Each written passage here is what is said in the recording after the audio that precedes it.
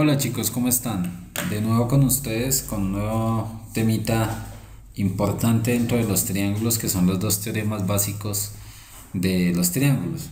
Son tan importantes que llevan más de 2000 años, 2018 años, mucho más, y todavía son vigentes, que son del teorema de dos grandes geómetras de la antigüedad griega, Pitágoras y Tales de Mileto.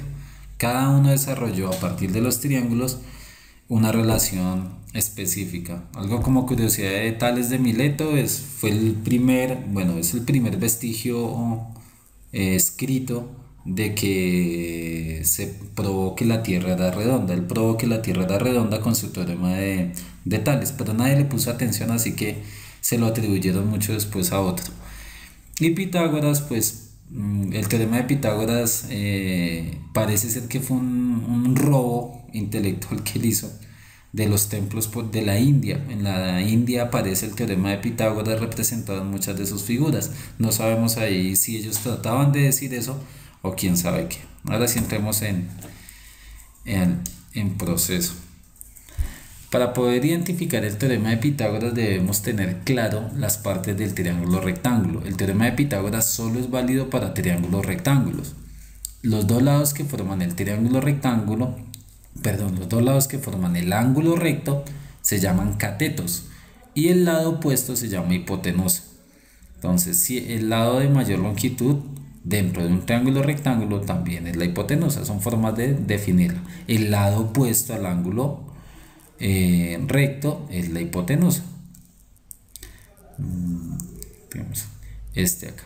Entonces, ¿qué me dice el teorema de Pitágoras? El teorema de Pitágoras me muestra una asociación del proceso,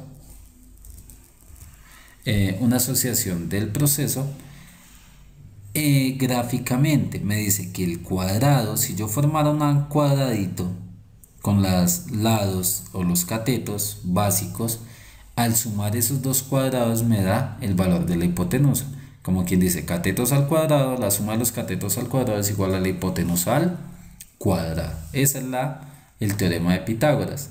Aquí tenemos la demostración, si se dan cuenta 10 al cuadrado me da 100, 6 al cuadrado me da 36, 64 al cuadrado y la suma de los dos también me da 100. Esta es la demostración válida del teorema de Pitágoras, pero resulta y pasa que nosotros no tomamos la demostración, sino normalmente nosotros utilizamos el teorema de Pitágoras es para hallar alguna de las dos longitudes. Normalmente los catetos reciben la letra A y B, y la hipotenusa recibe la letra C para establecer en la relación. Entonces aquí lo que me dice es que la hipotenusa, si yo necesito hallar la longitud de la hipotenusa, es igual a la raíz cuadrada de la suma de los catetos al cuadrado. Es despejar esta ecuación dentro del valor. O si quiero alguno de los dos valores de los catetos, cada uno tiene su fórmula. Es la hipotenusa menos el cateto que conozco.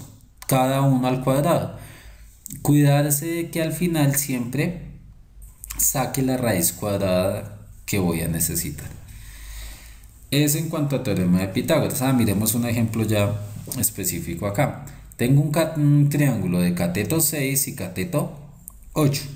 Al aplicar el proceso necesito hallar la hipotenusa, entonces buscamos la fórmula de hipotenusa.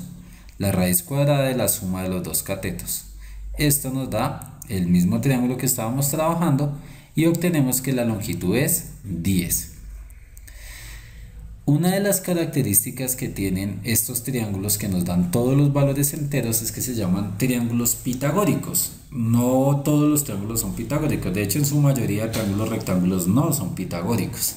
Pero los que estén asociados a problemas en pruebas estándar, en su mayoría, casi que en su totalidad, los resultados van a ser enteros.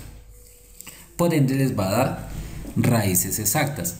No sé si ya vieron el video que les coloqué donde les recomendaba que es necesario uno tener en el saber al menos la raíz cuadrada de los primeros 20 valores que tienen raíz cuadrada exacta.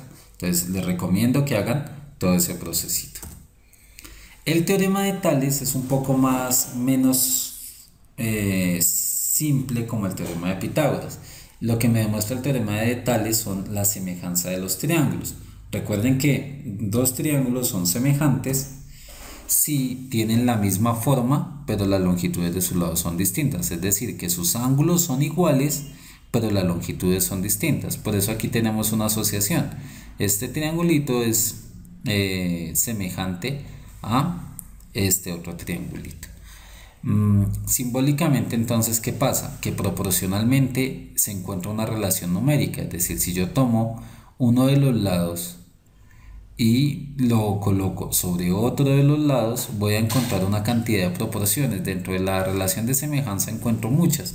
Ejemplo, si yo multiplico, divido valores en la misma posición, voy a encontrar la misma relación. Ejemplo, en este triángulo, hipotenusa e hipotenusa, 25 dividido 5 me da 5. Cateto y cateto, 20 dividido 4 me da 5. Por eso es que la razón proporcional, es siempre todos los triángulos tienen una razón proporcional. Ese es el teorema de Tales. Me dice que si dos triángulos son semejantes hay una proporción numérica entre sus lados.